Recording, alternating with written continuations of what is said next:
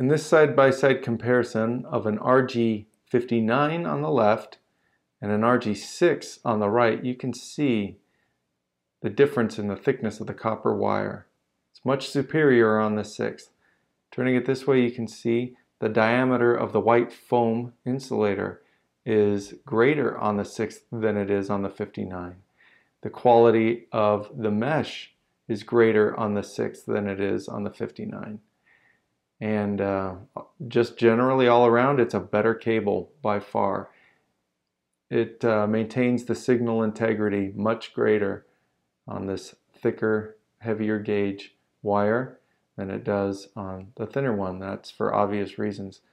So if you're going to choose between the two, I would just default with a 6 and be happy with it and forget about a 59. The price difference is not worth it to me. Might be to you, but this is the 6 is generally better off for uh, cable and antenna, uh, satellite, DirecTV, all that kind of stuff. They all use a 6. You wouldn't really want to use a weaker cable. So anyway, I hope that's helped you, been informative, and uh, thanks for watching. Have an awesome day. Bye.